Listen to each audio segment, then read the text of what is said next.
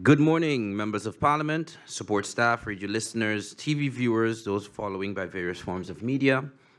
Welcome to the continuation of this meeting of the Committee of Public Health, Social Development and Labor, number two of today, Friday, February 10th, 2023. I would like to give a special welcome to the Minister of Justice, Anna Richardson, and the Minister of Public Health, Social Development, Labor and Labor, Minister Omar Ottley, as well as their respective support staff. We've established a quorum of six factions. Please stand for a moment of silence.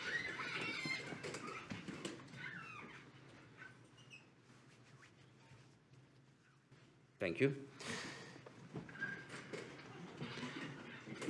Are there any notifications from the members of parliament at this time? MP George Pantophlet. Thank you, Mr. Chairman. Good morning to the chair, my colleagues in parliament, our honorable ministers and support staff, persons that are sitting in the tribune and those that are following by the available medium. Mr. Chairman, permit me some latitude to just mention a few things this morning in order to clarify uh, what happened yesterday. Mr. Chairman, I was very much surprised when I read the Herald this morning, and definitely I decided to respond to what was stated there. First and foremost, my apologies to the people of St. Martin and to our Minister of Justice and those that came yesterday to this meeting, because I did not intentionally not come back to the meeting. Where I live, they're busy working on the road, and therefore it was very difficult for me to get off the traffic. I came, I left home about 1.35, which was definitely late, but I hope that I would be able to return to the meeting on time. Unfortunately, that did not take place. Secondly, Mr. Chairman, let me say to the people of St. Martin that the issues of quorum, of having quorum and not having quorum, it will continue because sometimes it is a strategical political move that some make, opposition make it, and the coalition make it also. But to clarify, yesterday, it was not done intentionally. The editorial saw it fit to mention that the two out of the three were NA members. Thirdly, Mr. Chairman, it had nothing to do with a motion to be presented by the Member of Parliament, Grisha Heyliger Marten, because our faction, our coalition, also come with a motion. So I wouldn't see the reason of not showing up if you have a motion to present in the same meeting. Fourthly, Mr. Chairman, mention was made in editorial concerning uh, that we have to come to work and so on. Yes, and sometimes we're not in office. But one of the things I want to say to the public, Mr. Chairman, is that sometimes my office is at home and at midnight, where I cannot be in this office here, I'm home doing the people's work, Mr. Chairman. So there's no limit to the time that I work when it comes to the people of St. Martin. And Mr. Chairman, um, what is very important is that the only time I might not attend a meeting is if I am abroad or if I have a medical appointment. That's the only two reason. My colleagues know me very well. If I can't make it, I call. If I'm going to be late, I also call. So, Mr. Chairman, I have to clarify these things. Thank you very much. Thank you, MP Pantophlet. I see no other notifications. Therefore, members of parliament, uh, we have as agenda point for this meeting the discussion with the Minister of Justice and Minister of Public Health, Social Development and Labor regarding immigration slash residency and work permit policies. This is IS 648 2020-2021, dated May 10th, 2021. This meeting was requested by MP Wescot Williams. We go over to the agenda point.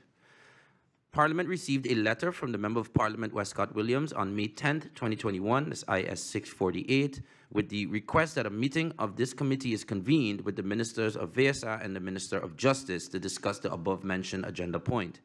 The meeting was convened on December 12, 2022, during which, after a brief elucidation by the requester of this meeting, MP Wescot Williams, both ministers gave a presentation and members of parliament were given the opportunity to pose questions to the ministers.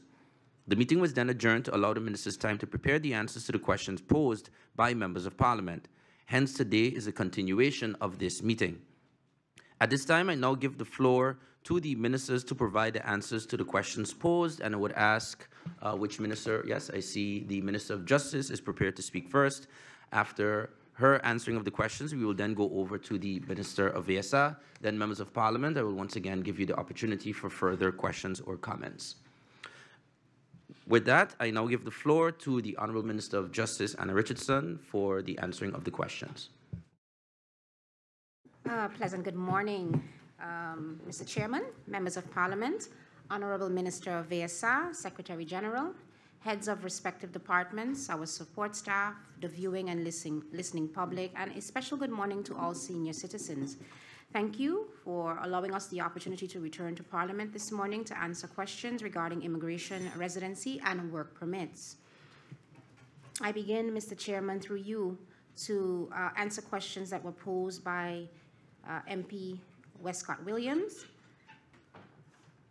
The increase of income for residency, what was the increase based on? The increase from 2,000 guilders to 3,000 guilders was particu particularly for foreign nationals who stand as guarantors for their families. This increase was based on the fact that 2,000 guilders was deemed insufficient to sustain oneself along with a family, so spouse and children. Can you give an update with respect to the Certificate of Good Conduct? The Ministry of Justice launched the online application for the Declaration of Conduct on January 9, 2023. The Ministry of Justice reported a significant improvement in the overall handling of the VOGs requests with increased visibility, monitoring, and a quicker delivery of time, uh, delivery time. Has the policy been changed based on court verdicts with respect to the spouses of foreign nationals not being able to work? Has this been updated? No, the policy has not yet been amended to reflect this. However, based on jurisprudence, the Immigration Department applies same to each dossier. As such, a first-time residence permit should not be denied based on the fact that the spouse of a foreign national is working.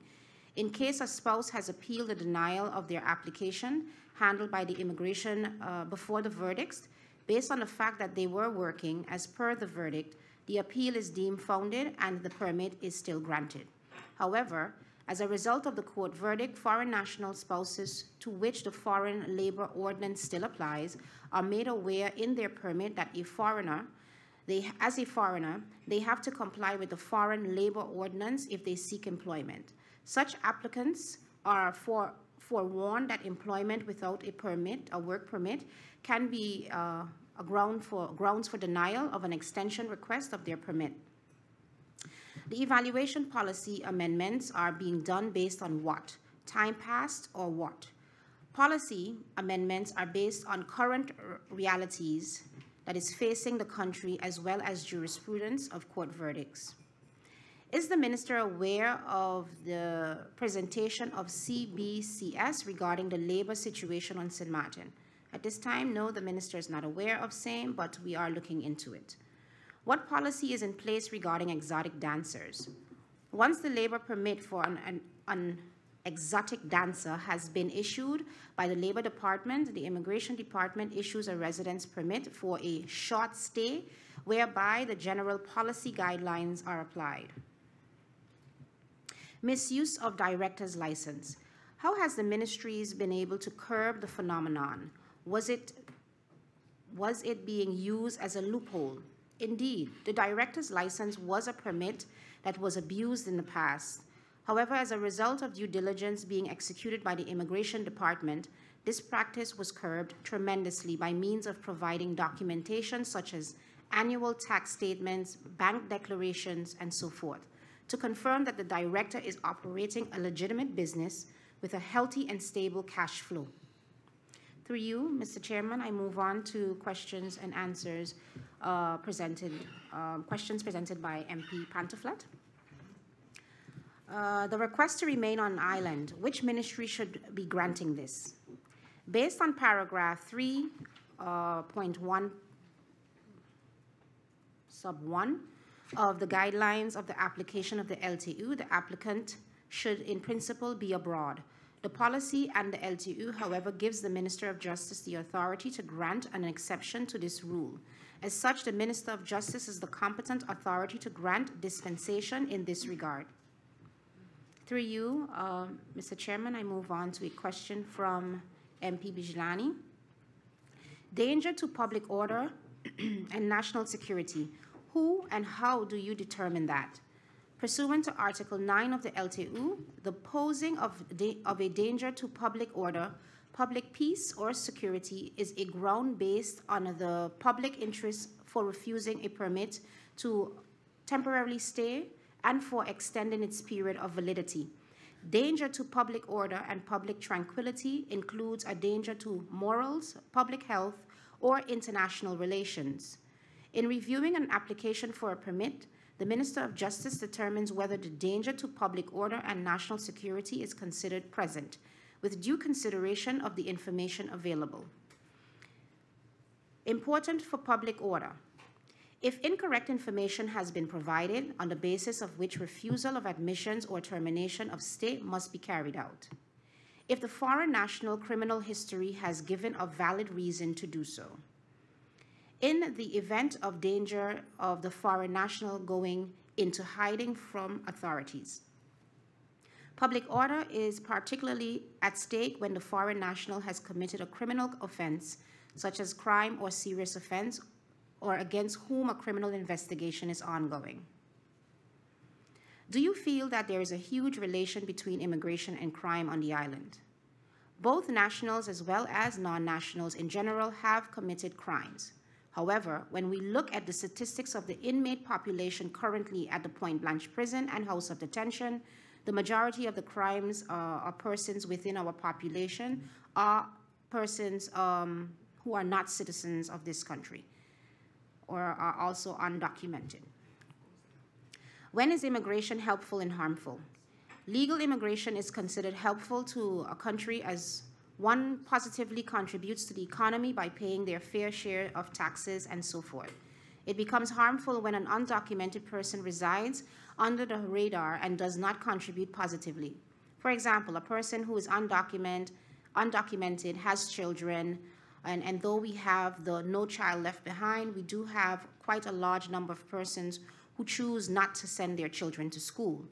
Uh, and not having their children go to school oftentimes contributes to um, resorting to all sorts of, of uh, practices that can be deemed criminal.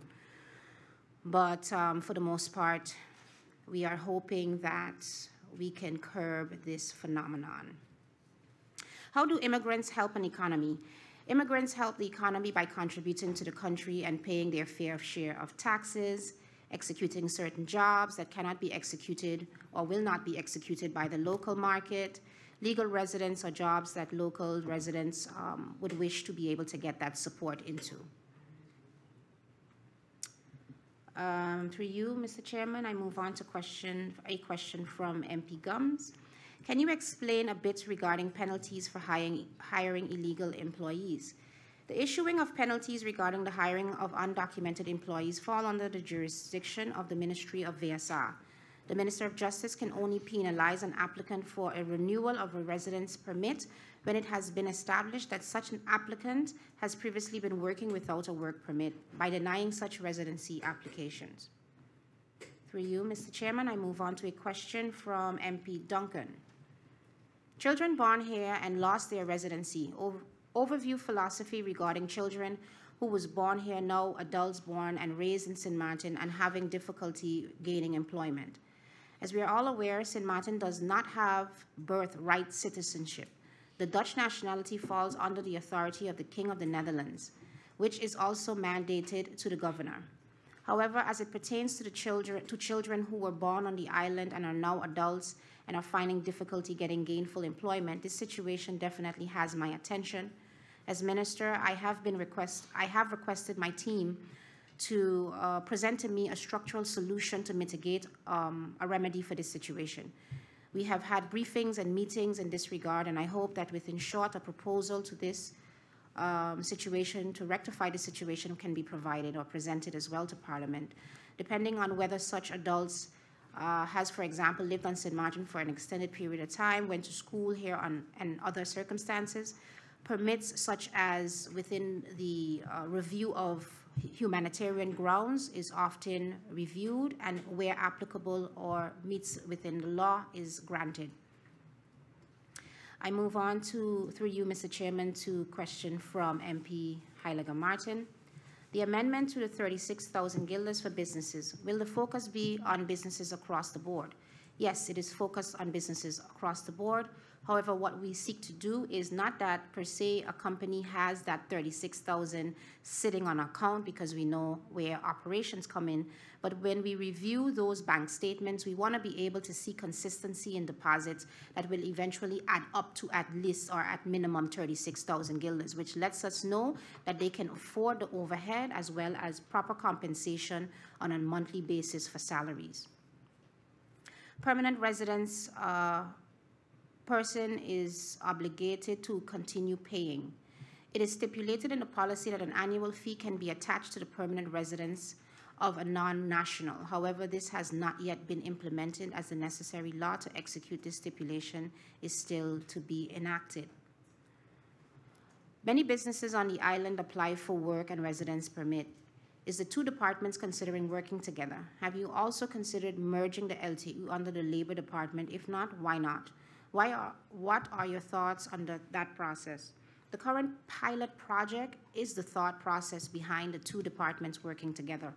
The project aims to streamline one, one another's processes as well as reduce the redundancy of the documents being requested. As, a similar doc, as similar documents are necessary when applying for both employment and residence permits. Merging the LTU under the Labor Department has not been considered as the issuance of each of the respective permits, work and residency, fall under the competencies of the two respective ministers. Through you, Mr. Chairman, I move on to a question from MP De Weever. Where does ECYS get involved in the process of children who are here undocumented? What are we doing or have an idea regarding children who are coming out of school, out of the school system without a legal status? The Ministry of ECYS does not have a role with regards to children who are undocumented. Personal information regarding the legal status of children are not shared with the Ministry of Justice. As such, we are not aware of the number of children who are currently in the public education system without legal status. Through you, uh, Mr. Chairman, I move on to a question from your person. How is the E9 measure being executed? The measure the measure relates to the execution of work and residence permit for the NRPB employees and to receive a response within one month of submission. Overall, the Ministry of Justice has been expediting the request for the workers of the NRPB once all the requirements are met. However, it is important to note that the pilot project that is launched also strives for this time period, as we believe that it is possible to achieve the same goal not just for NRPB, but for all applicants. And with that, Mr. Chairman, I thank you for the opportunity to respond to the questions that were posed to the Ministry of Justice. Thank you, Minister, for the answers received. Next, we will have the Honorable Minister of VSA, Omar Ottley. You have the floor. Thank you, Mr. Chairman. Good day to the honorable members of Parliament, the viewing and listening public, my honorable colleague, Minister of Justice, and my support staff. Without further ado, I'll dive into the questions. First question by MP Sarah Wescot Williams. When will electronic filing for applications be possible? The new procedure was launched January 16th. By the fourth quarter of 2023 or the first quarter of 2024, the second phase of the project will commence, incorporating an online platform for intakes and processing of all services. Next question. Does the ministry have an idea what can be changed to address the various challenges faced by the NESC? Any policies or legislations amendments? The NESC challenges, as referred to in the presentation, revolve primarily around the execution of the National Ordinance of Foreign Labor, and to the lesser extent, the Ordinance of Labor Bureau. Under the vision of myself, the NESC will work along the Department of Labor with policies and legislation to review, evaluate, and draft new policies and address the challenges presented. Changes that are envisioned include the aspect related to vacancy registration, employment processing, the time frame, the duration of the employment permit, the fee structure, the criteria for expertise in critical areas, and the moratorium listing of positions. Can the Minister of VSA provide an update on the Royal Caribbean? The ministry, under the auspices of the NESC, continue to work to provide support to job seekers who wish to pursue a career in cruising. However, it is important to note that the job openings and the recruitment are handled by Royal Caribbean Group. And at all times, applications are processed via their online portal, which is still available to the general public, careers.royalcaribbeangroup.com. This is also in sync with the agreement signed between parties. Based on the information received by Royal Caribbean, a total of 71 persons attended the recruitment. And of those 71, 68 persons completed the online applications. Positions candidates expressed their interests range from food and beverage, restaurant, housekeeping, lifeguard, entertainment, photography, casino, medical, security, guest services. A total of 26 positions were offered to our people. A total of 17 persons are still um, um, moved on to the second phase, awaiting employment, and a total of 25 persons did not move on. Reasons in which candidates did not move forward are various. However, most often reason is due to lack of experience and skill level for the position in which the candidate has expressed their wishes. Are you aware of the presentation from the central bank regarding the labor situation on St. Martin and unemployment? Yes, we are aware, MP. The central bank published an economic paper on the state of the labor market in the coronavirus era, April 2021. The government of St. Martin is cognizant of the labor dynamics and the impact the natural disaster and the pandemic had. As such, the ministry, through funding by via the trust fund, are busy finalizing our labor market analysis. Which projects currently make use of the rapid employment process? The rapid permit process is applicable for major construction projects that have national impact and of importance. Currently, PJIAE and the SMMC are making use of the rapid permit process. What policies is in place regarding sex workers, commercial sex workers. This policy was sent to the members of parliament. It's very straightforward. The policy, it's named Policy Regarding Employment Permits for Commercial Sex Workers. This policy was sent to the members of parliament. What is the update on the country packages? Much work has been done regarding the country packages for VSA. All plans of approach has been finalized and activity listed in the plans of approach are ongoing. For example, one of the activities is the extensive labor market research. We are currently awaiting the final report with regards to the social security and labor market assessment, which will be combined as one to produce a comprehensive proposal for reforms. How has the ministry been able to curb the misuse of the director's license?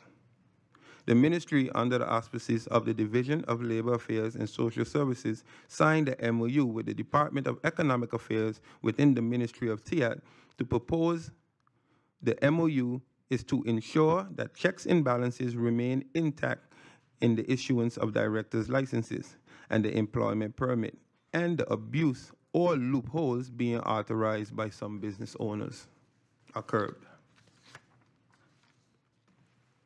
Are any consideration being put in place for persons who are not medically insured upon submission of their employment permit renewal?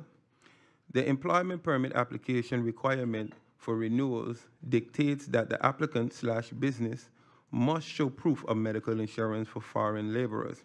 The proof of medical insurance must also be provided to a period preceding the renewal of employment permit. At the moment, we believe this provision is necessary to ensure that we do not continue to place unnecessary burden on the already frugal SZV coffers.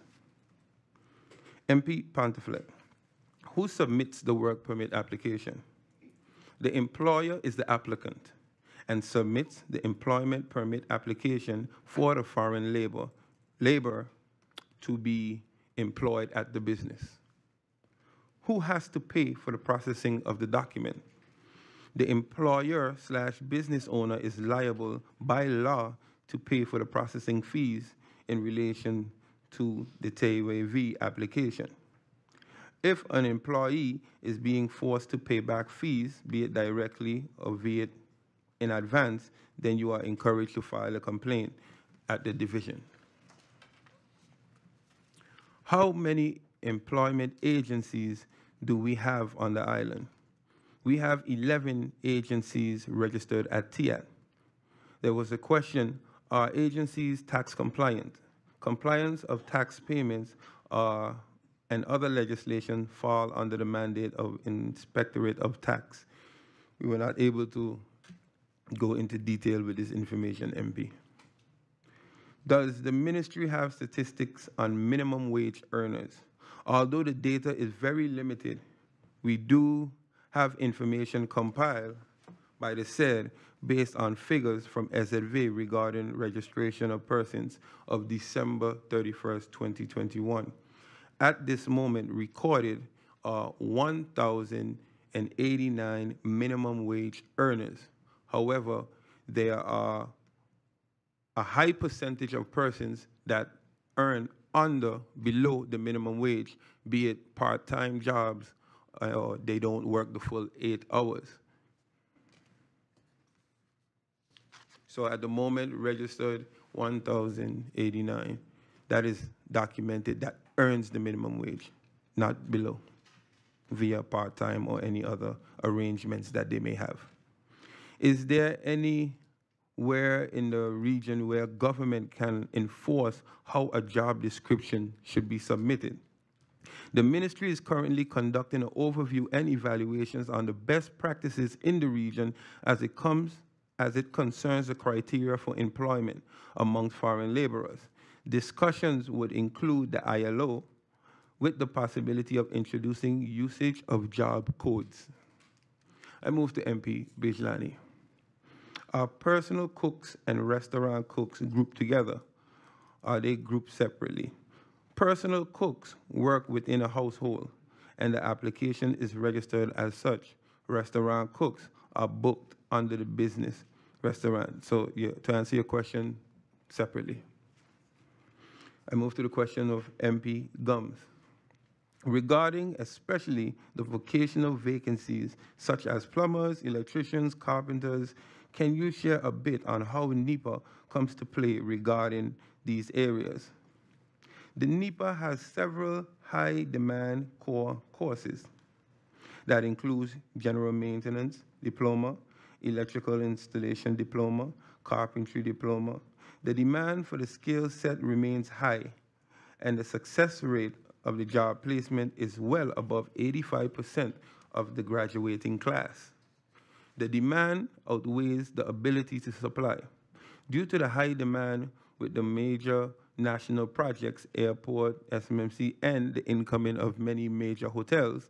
In addition, the recent launch of the hospitality and culinary programs as well has been launched at School of Nursing in 2021. And the maritime program shows that NIPA positively impact the labor market in preparing persons for the opportunity available on the labor market. I move to the question of MP Duncan.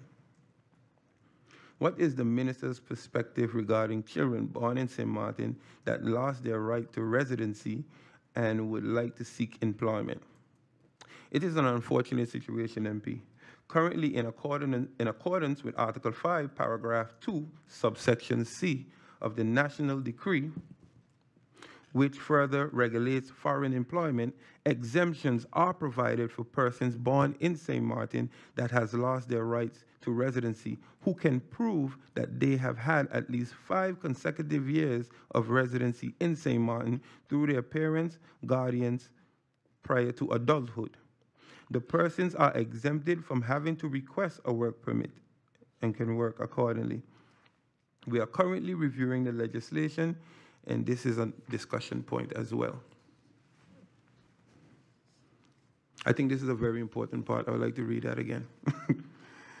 um, currently in, according, in accordance with Article 5, Paragraph 2, subsection C of the National Decree, which further regulates foreign labor, exemptions are provided for persons born in St. Martin that lost their rights to residency who can prove that they have had at least five consecutive years of residency in St. Martin through a parent, guardian prior to adulthood.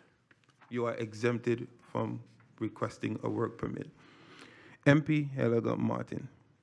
Is there any consideration of merging the legislation of the LTU and employment process? Yes, MP, actually this, there is.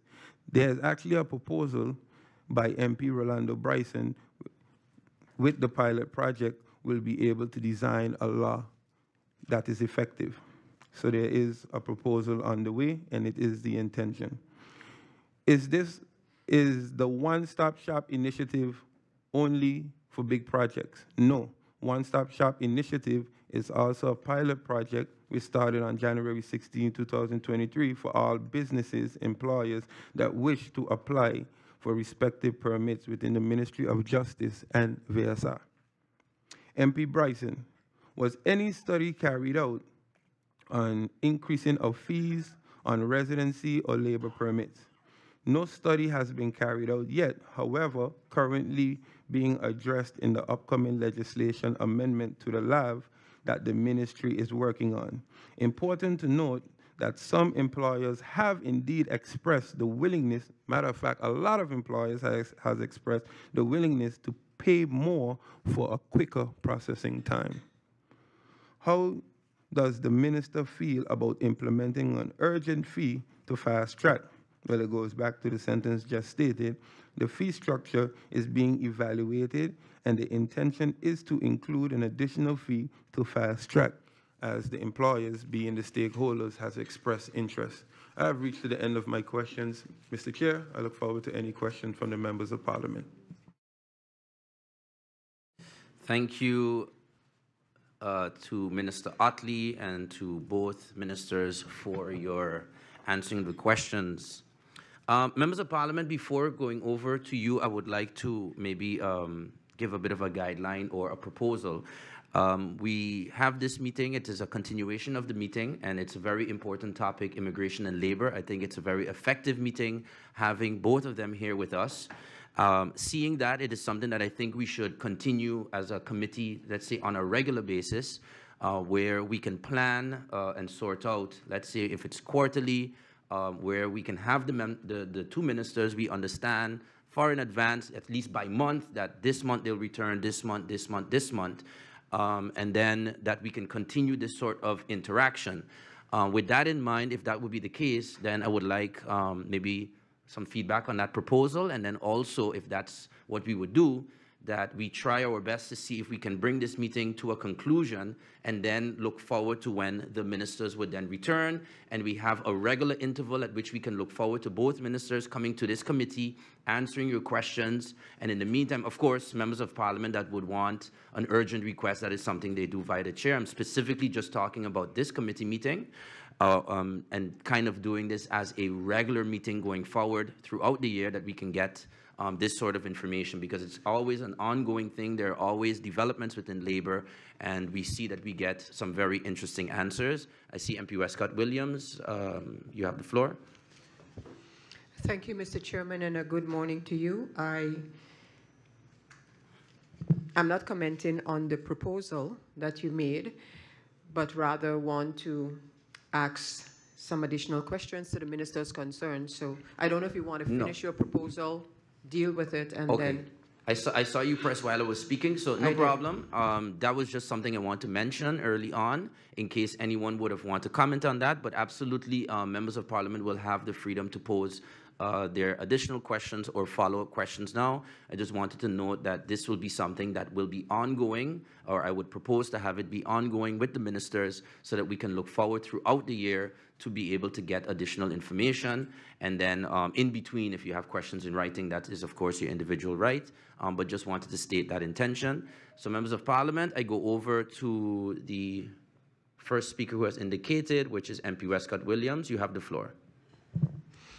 Thank you, and a good morning once again. A good morning to my colleagues, a good morning to the ministers and their support staff, a good morning to all following this meeting via the different media. In connection with the information provided by the ministers, and I need to interject here that the request for this meeting, as adequately stated in the introduction of the chairperson, dates to May 10th, 2021. The meeting started in December 2022, and here we're receiving the answers posed in, in that meeting. So if the ministers, starting with the Minister of VSA, can provide some more concrete insight in answer to my question regarding the NESC and its operation. Specifically, I would like to know whether the cooperation from businesses as envisioned when this entity was created, is that, is that taking place? And could the answer to that, yes or no, be substantiated with numbers? Numbers of persons applying, the entity, the NES, um, inter mediating rather, not intervening, mediating, and the results of so. So could I get something? Could I get some tangible information as to this matter? I understand the the issues that need to be solved, and I'll, I'll get to that. So if I can, I can, I can, if I can get information, tangible information regarding the operation, because there was a certain thinking and vision behind that that organization, and I would like to know if that is has been um, materialized. With respect to the issue of the Royal Caribbean Group and the MOU that was signed with government, I heard the numbers of how many applied, how many got to the first round, how many did not, how many got to the second round. So with respect to the agreement with Royal Caribbean Group, is the MOU now finalized and everything is voluntary, persons can apply online at Royal Caribbean Group, etc., or is there still, so what was the result of the MOU?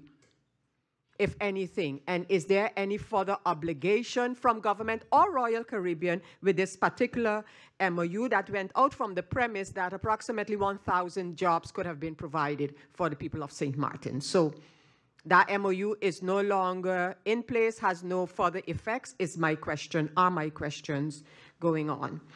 The, the, let me see, the minister referred to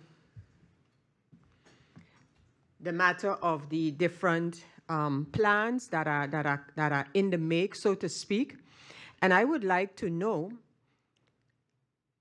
with respect to the work carried out or being carried out as part of the TWO, no longer associated with the COHO because that one has been taken from the table, at least the COHO.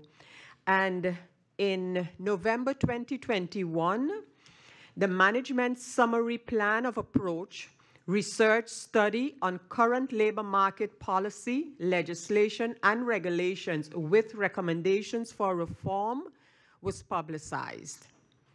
What has that, if anything, research study yielded very concretely? What has it yielded? What, are, what do we have before us in terms of um, recommendations? Recommendations for reform, because I hear from both ministries, we're working on this, we're coming with that, we're looking at this. But if these research studies are announced and carried out with specific recommendations that speak about legislation and regulations, I want to phrase that question so how is what the ministries have announced, how is it tying into the work that is being carried out for both ministries, the recommendations, the instructions coming from some of these recommendations to the ministries with respect to labor market policy, legislation, etc.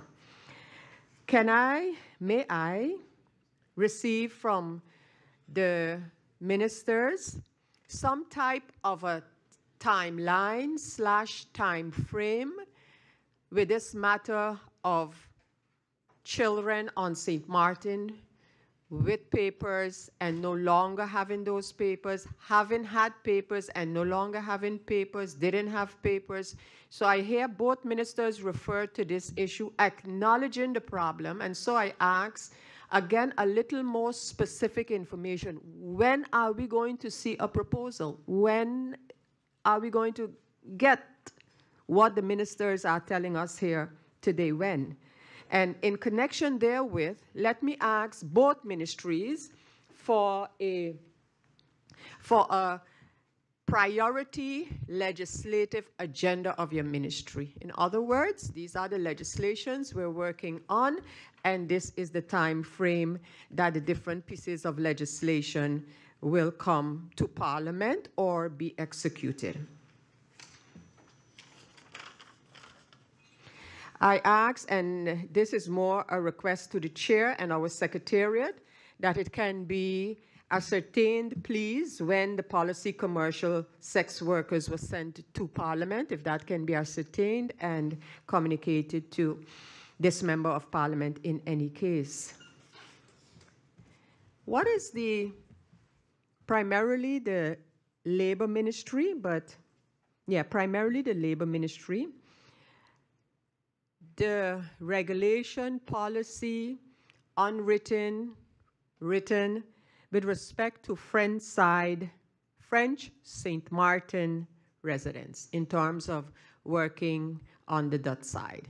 Um, is there any, besides the regular policy that, you know, um, is there any, what, what, what, what are we applying? And talking about employment, let us also, um, if also the issue of contract work between the two sides can be addressed. To the Minister of to the Minister of Lab of Justice rather. By the way, thank you both for being here together. I know it took some time before it could have been coordinated, but at least today it's good to see both of you and responding to the questions. The, the matter of my tie into employment agencies does the Ministry of Justice require uh, some type of proof that a person is represented by the agency if they are checking up on or providing further information. So for example, let me be clear, if I wish to contact the ministry and to get information, to further file, to do whatever with respect to residency on the island, do I have to prove that I can represent whoever that person or group of persons are, or I can come in and say, minister, or to your whoever is is in charge of it. I am here to basically pursue the case of Mr. or Mrs. X. So it, would I have to show something that I, I, I can represent that person? Um, I would like to I would like to hear on that from the minister as well. Mr. Chairman, I want to leave it here for now. Thank you. Thank you, MP Wescot Williams. And next we have MP Grisha Marten. A pleasant good morning to you, Mr. Chairman, and good morning to my fellow colleagues. Good morning to ministers of VSA and Minister of Justice, and good morning to those listening and viewing online. Mr. Chairman, I just have a follow-up question, or um, more like a clarity regarding the question I posed with, with the regards to having um, the LTU on the, the. I thought, yes, it was exactly, I, I posed the question to both ministries, but the, the answers were a bit disconnected, and I just need some clarity on that. I hear the Minister of Justice saying in one sense that it's separate, that both ministries would have to work on that. Is that clear? Or, and then I'm hearing from the Minister of VSA that a proposal was submitted, but my question to the two ministers, through you, Mr. Chairman, is that Are you considering the proposal? Are you going to work on the proposal? Am I to assume that the pilot project right now are just having the two ministries interface, working together interchangeably? Are, and for now, it's a pilot project, but are you both considering, through you, Mr. Chair, are both the ministers considering the proposal posed by your, by your, by your person, Mr. Chairman? Is that going to be something you're going to be looking into? Ta- tagging in the LTU under the VSA? Is it something both ministries are going to be considering or finding out if it's possible? That's all I have, Mr. Chairman. Thank you. Thank you, MP Grisha Heyliger Marten. Next, we have MP George Pantophlet. You have the floor. Thank you, Mr. Chairman. And let me thank the both ministries for the answers given to the questions I posed. Mr. Chairman, immigration for me, is the most important issue when it comes to any country.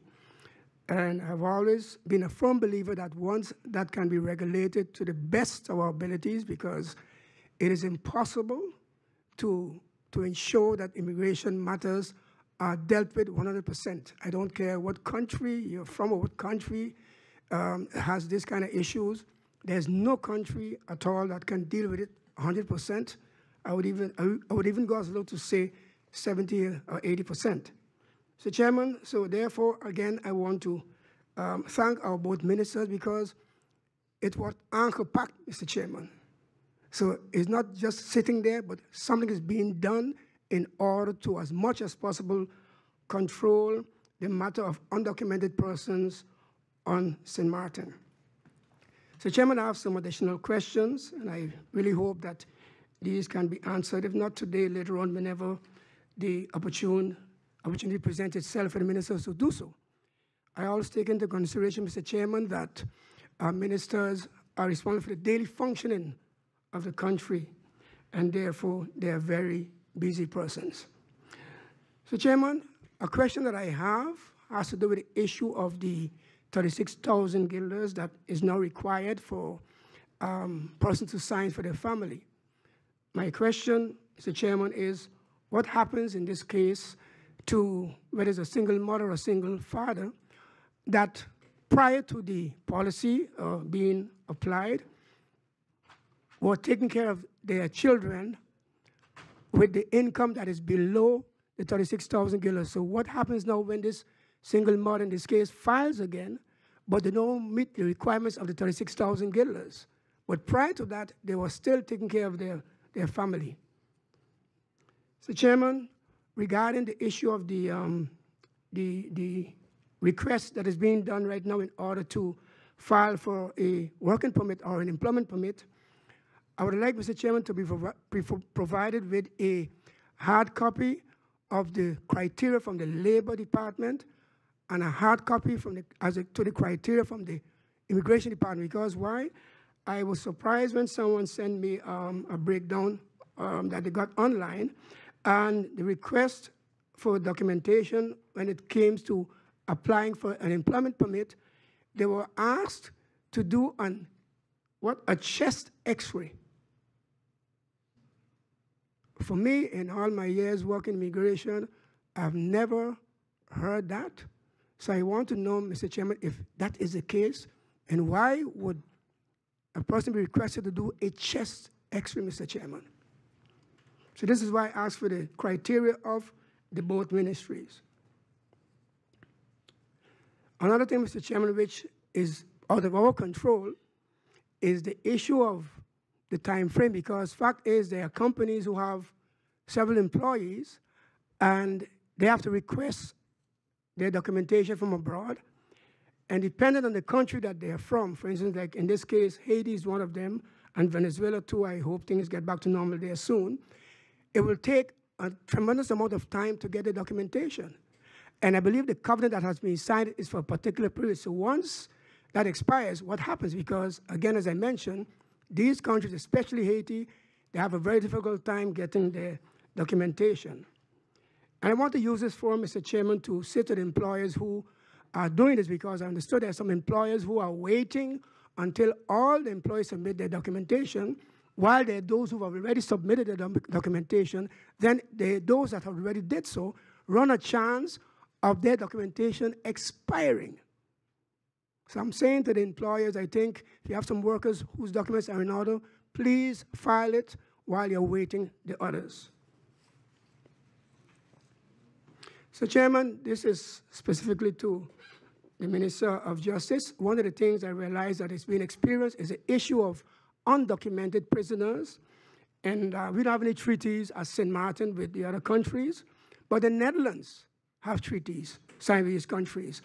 And is it possible for the Netherlands to intervene based on the foreign affairs responsibilities with these countries in order for us to have these undocumented prisoners sent to their countries of origin and allow them to finish or to serve the, the finalization of their term in those countries? Because I think that would also help minimize the pressure on our prisons.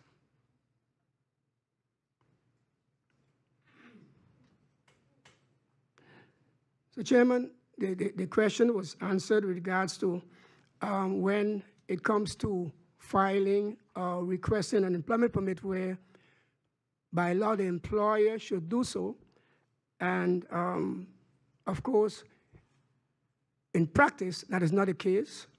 Mostly, I would say 90% or more, it is the employee who, employee who is the one that um, that has to, and that has to, that files because it, they want to get themselves regulated. So, Chairman, I heard it mentioned that um, some employers would be very happy, or most employers would be happy, if uh, they're willing to pay even more if their, their process goes much faster. And then I could use that to say this, then I think they can also pay at the same time for the employees' uh, request of the permit in order for the process to go faster. Mr. Chairman, something very interesting I saw when I looked at the, going through the, National Ordinance on the Law of Admission and Expulsion. It was Article 8.3, which um, it stated, and I'll kind of freely translate a bit, where persons who are here as tourists, if they want to extend their stay, monies have to be paid to the Treasury. I want to know how does that work because that was Article 8.3 of the National Ordinance on Admission and Expulsion, that persons who are here as tourists, if they want to extend their stay, they have to pay something to the landskas. So I would like to know exactly an explanation of that because honestly, I, I really, maybe I missed it somewhere in my years working in immigration, but I never really saw that applied in my time. I think it's a good thing though.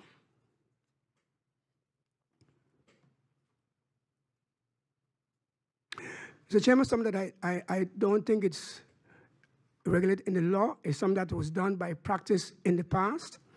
Um, persons who, uh, let's say, they work for a particular employer and their, their documents or their term, employment contract, has expired, um, according to the law of admission and expulsion, these persons can be deported immediately. Uh, there was a practice, Mr. Chairman, back during my time in immigration, I said a practice probably a verbal policy where persons were given at least two weeks' time in order to find employment elsewhere. And if they don't find it then, of course, uh, they had a chance of, to be uh, deported. Why am I saying this, Mr. Chairman? There are times that persons have had contracts living on the island for quite a while, maybe bought a home or bought vehicles or something, and then they want to probably sell their home, sell the vehicle before they return to their country of origin, should be given enough time in order to do so.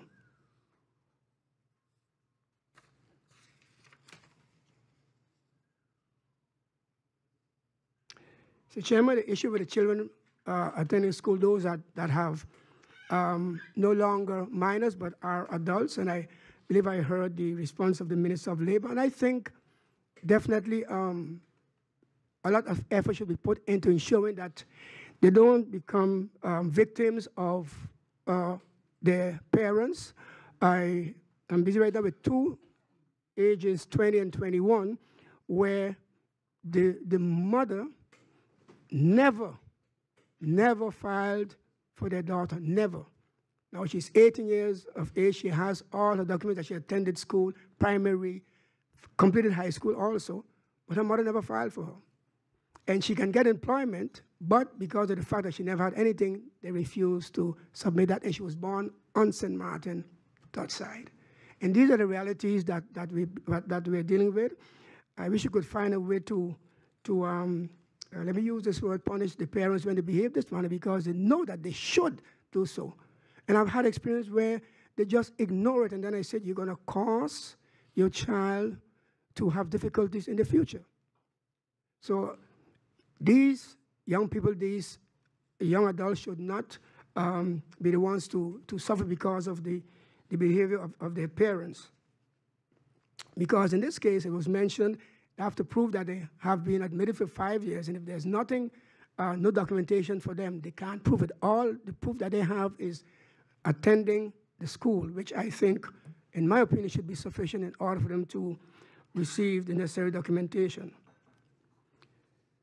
Mr. Chairman, I can continue on the matter of immigration for forever. Um, it's something that I'm very passionate about.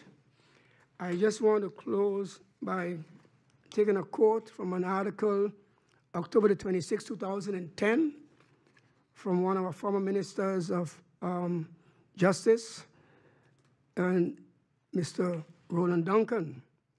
And I quote, October the 26, 2010, Justice Minister Roland Duncan has pledged to work on eradicating the short-term employment contract, more commonly called a six-month contract. Even though labor is not his direct responsibility, the minister said, we are looking at setting up a law on employment that looks quite seriously at punishing businesses engaged in unfair business practices. There are penal elements in the labor law that can be used to this end. End of quote, Mr. Chairman. And that's why I'm going to repeat myself. It should not be that employers can continue to abuse the law and not pay the penalty for that. Thank you, Mr. Chairman. Thank you, MP. Thank you, MP George Pantophlet. Next, um, we have MP Sarah Wescot Williams. You have the floor. Thank you, Chairman. And I would just like to add one question, and then it can be taken along with the other questions. And the question has to do with the, again, schedule, some perspective with respect to the national health insurance. Now, one could and probably would ask what it has to do with the agenda point here. Well, if the government and the ministry are promoting not only employment, but also entrepreneurship instead of employment. And right now, sole proprietors can't get coverage according to the SZV laws and would under the NHI. I would like the minister to give an indication as to where we are with the NHI or general insurance or universal coverage, whatever name it carries currently, but I'm sure the ministers get the gist. So if that can be taken along and a concrete response can be given, I would appreciate that. Thank you. Thank you, MP Wescot Williams. Are there any others wishing for the floor at this time? that not being the case, I do have a few points I also want to bring up myself. I want to once again thank the ministers for the answers to the questions um, that were posed, and you've received a, a, few others as well. However, I also want to comment on, which is what I had brought up in the first, let's say, round, so to speak, of the questions that I had, and that's indeed what is uh, commonly referred to as a sort of LTU merging. Um, but I think I need to maybe clarify a little bit and, and explain what we really are talking about from a legal perspective, because it is not, let's say, a merging of the two laws. It is just simply streamlining the process of what we're having here. And actually, um, by being able to have the opportunity through this legislative process of sitting with the and having work visits with the respective uh, ministries and their departments, I was able to come to where I believe um, it does not, let's say, disrupt the legal process. So the resident per permit process still remains. What the law is actually doing is that once a person, the Ministry of VSA, has done their necessary due diligence of evaluating properly the need for this individual. They've gone through the NESC, they have all these different processes, and it comes to the point where a person has been determined to receive a work permit. That the next process of a residence permit still exists, but it is done by operation of law. The reason for that is, is that once the person has been vetted sufficiently as a laborer, then it should be a much more streamlined process in order to bring the person into the country. Um, it is very difficult, and of course, uh, in the legislative process, all of these things still have to go to the council advice and come to members of parliament, because I can imagine if you don't look at all of the nuances, for example, adjustments to the basic administration law, um, the conditions that are set upon, because it's not just operational law, sign it off, there are other conditions, just like, for example, even a Dutch national that so-called receives Van der Rechtswege, there are still additional conditions attached to that Van der Rechtswege, um, but I just want to explain that it's not as, uh, as easy process as the LTU is just going to be merged into one law and there's going to be uh, one thing. No, that is not the intention behind um, the, the legislative draft. And I again want to thank um, the ministers have been working on this for quite some time. It is not something that is one, two, three to be able to initiate something like this. Um, and it can only be done in consultation with some of the familiar faces that I've seen here before who I've had the opportunity to interact with to see what are the do's and don'ts recommended in doing legislative changes to both uh, two very important laws like the LTU and the Arbeidsvreemdelingen. Um, however, what I do see is, is that in the meantime, a question is, oh, but um, you know, when the minister is asked a question, the minister of justice is asked, well, do you implement it now? Well, obviously not. You cannot implement something that has not come to law. It is now up to the members of parliament. If the parliament now says, well, this is what we want to do, and then you can make adjustments. We had that question, for example, in our interaction in the Justice Committee, where we posed the question, how is it possible that the judicial branch is executing things that are there. Well, in that system, you have a bit of a different thing with jurisprudence, etc., and then you can adjust policies based on that, which is what the Minister of Justice said. Um, but generally speaking, we need to allow the members of parliament then the opportunity to weigh in and if they want to amend or if they want to support or not. And I think that would be a very interesting moment for the Parliament of St. Martin to be able to say, do you really want to go in this direction or that direction or what, what are the real sentiments now it's now the burden on, or not the burden, but the onus would be on Parliament to decide what is the future of the way we want to handle immigration matters, labor permit matters, etc. I think that will also afford all members of Parliament a good opportunity to do so with their right of amendment and their right to vote and their budgetary right, etc. Um, what I do um, encouraged by is seeing the fact that what can be done within the current law is being done. So for example, the one-stop shop, as it is commonly called, that is a good uh, step in that direction. Um, and also the pilot project that was launched, I think is also a good step in the right direction. Um, but I do have another question on that pilot project. Um, there are those um, that seem for whatever reason, maybe because documentation is in Dutch. So my first question is, is everything related to that um, pilot project, has that been translated into English for the public? Um, because I can imagine if it's a policy that is published, it might be in Dutch, but is it also available in English? And is there a sort of a FAQ um, where people can understand what the intention behind, and this is to the Minister of Justice, um, what, are, what is really the steps. I know I saw, let's say, a graphic that kind of outlines the steps, but maybe a detailed place, if it can even be on the government website, stmartingov.org slash pilot project, I just saying something, but a central place where there's a link that whenever we get a question about this, that they're able to get the information right away because there still needs to be some clarity on that process for people. Um, also, um, is there, uh, how is this uh, the pilot project? Uh, is it something that is a, a kind of an action based on existing policy, or is it an amendment to a policy? Is it a policy of its own? Um, just to understand the technical nuances of how this is being executed and how that would be shared with the public. Um, There is also something that I, I don't think we can ever legislate, which is the, the, the service or rather um, the feeling that some people get. The fact is, and this is something we have to acknowledge, there is a lot of anxiety out there that many people have about approaching the government for anything.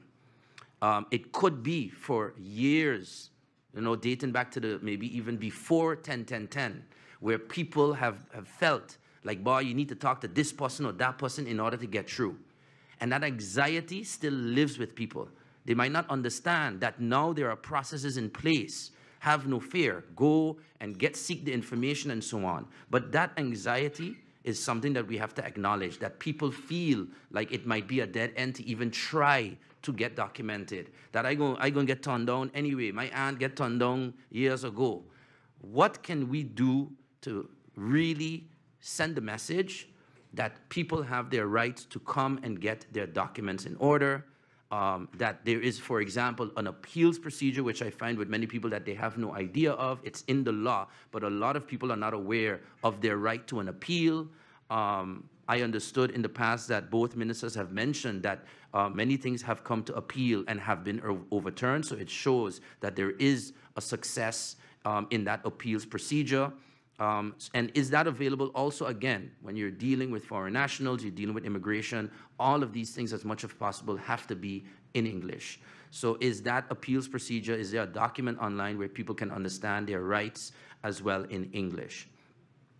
Um, I do believe that maybe a suggestion could be as a sort of a internal improvement procedure uh, within both ministries where there is an email address or even uh, in the more traditional sense, a sort of a Dropbox where people can anonymously inform and let people know of what their uh, what some things that they would want to see. Is that something that they just send to the department, or is there a separate process for people to be able to give their concerns that they may have experienced through the labor permit or immigration permit process?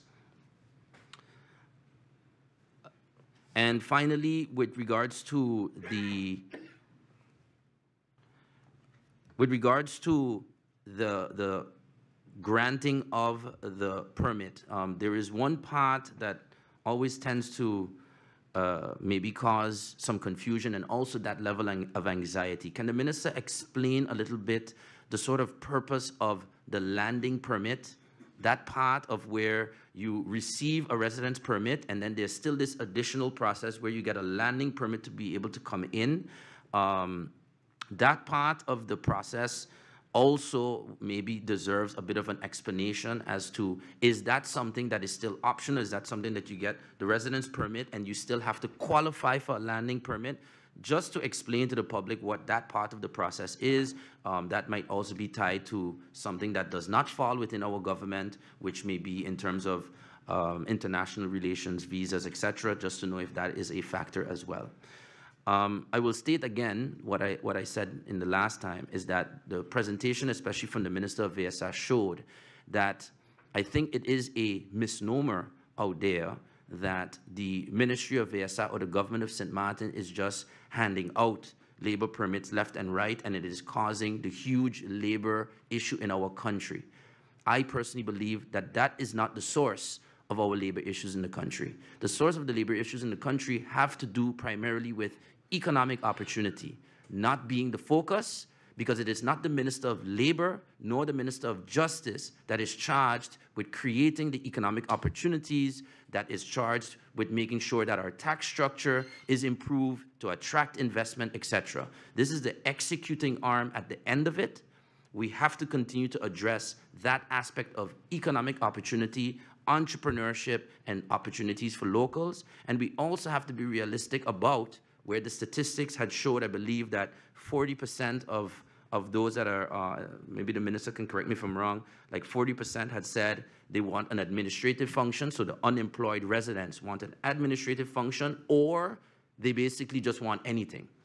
That tells you that our people want a certain direction. What opportunities are we then creating to give them that opportunity? How many unemployed people are asking to be a waiter or a bartender or a chef or construction worker? What do the statistics show of what the local population want to do so that on the economic side, we create those opportunities for them, as well on the educational side. Let us admit what the interests are of our people based on the information we have.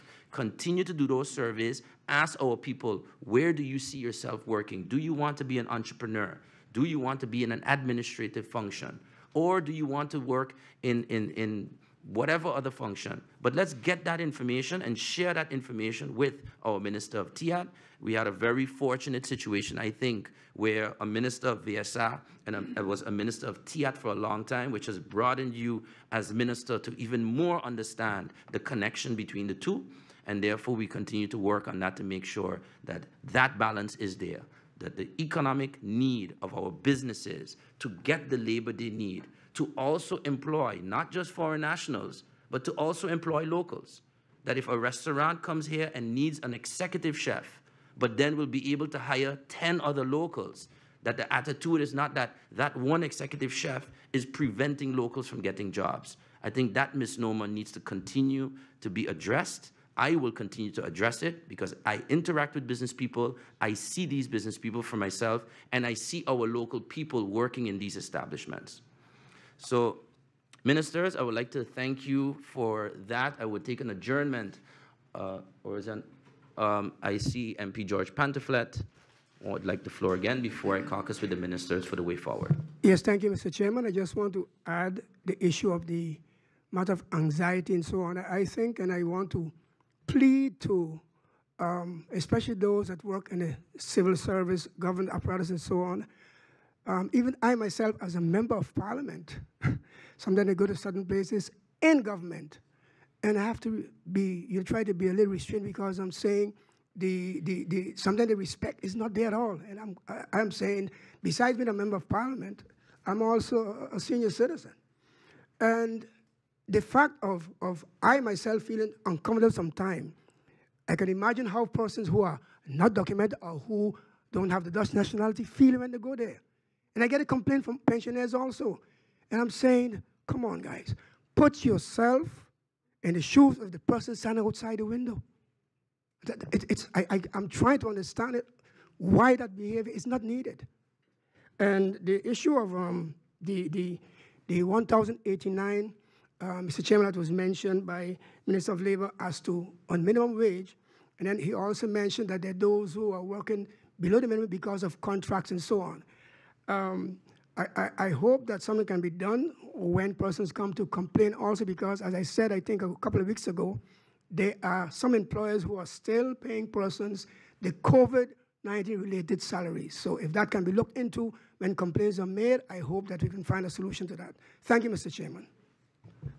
Thank you, MP George, and I again also echo that call. Um, and the word that comes to mind is empathy that we have to be as empathetic as possible with anyone that we deal with in this country. They're all humans. Um, they have to abide by the law, absolutely. But even in informing them of their need to abide by the law, we can do that in an empathetic manner. And I hope that that continues to be the mantra that our, both our ministers exude through the ministry itself. Um, members of Parliament, I will adjourn for three minutes to caucus with the ministers on the way forward for the meeting.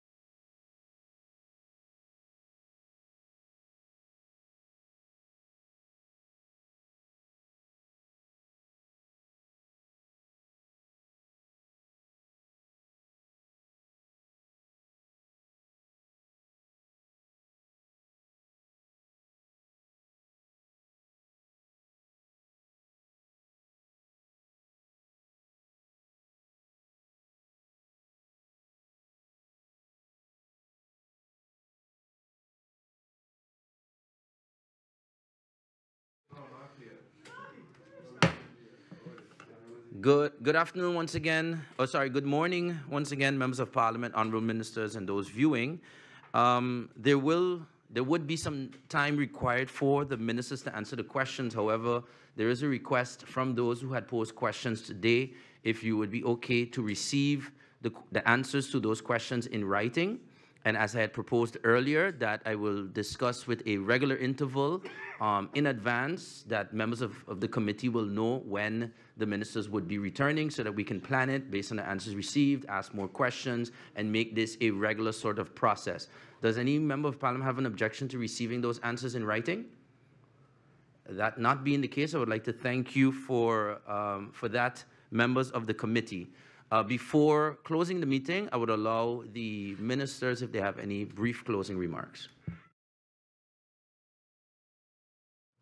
Thank you, Mr. Chairman. Thank you to the honorable members of parliament for allowing me to submit in writing. As I must say, I have a 100% response rate since my tenure, so you will get your response. Um, I would like to just leave with this point, um, the minimum wage. Anyone, anyone working full-time and receiving less than the new minimum wage, please, please contact the Labor Department. It is not acceptable. We will not accept it. What we speak of in the presentations are persons that may work part-time, etc. But raising of the minimum wage will also raise the hourly wage that you receive. So even if you work part-time, please ensure that your payment is no less than 995 guilders. Please ensure it is very important. I just wanted to leave with that message. Thank you. Thank you. And uh, next, MP, uh, sorry, Minister Anna Richardson.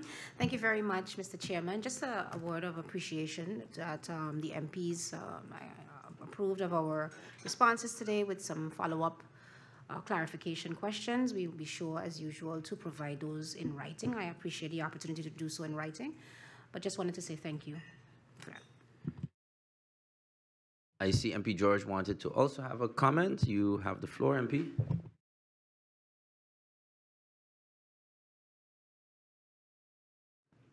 Thank you. I put it on. and You took, I took it off by mistake. Yes. Um, thanks again to the both ministers. And um, something else I, I, I would like to see um, place an emphasis on is the issue of the pay slips because that again is also an issue that that a lot of employees are not adhering to is giving the employees pay slips and then basically based by that you can check and see exactly if they're being paid the right amount of minimum wage, yes or not. Thank you, Mr. Chairman. Thank you. Um, thank you, MP Pantophlet. And just to clarify, Minister, the 995 year is guilders. Hourly wage, minimum wage, guilders 995. So you did per hour. Yes, per hour. That is the new minimum wage that should be applied. And you've heard the call to the businesses as well as laborers to ensure that your rights are being upheld.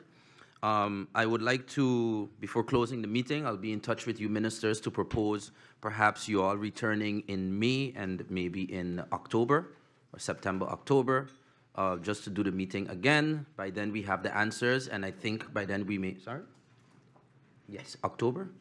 I see the ministers are, yeah, we'll, we'll be in touch. Just that um, the intention would be um, in order to kind of centralize and that you can plan it in advance, that we would want to have you all return to discuss further issues, anything related to immigration, labor, and so on. Basically, a repeat of this meeting, that it is some, an opportunity that members of the committee can always look forward to on a regular basis, but that you also will look forward to returning. That's why I'm kind of giving you the heads up. I'm looking at maybe May and then uh, three months after, three, four months after, something like that.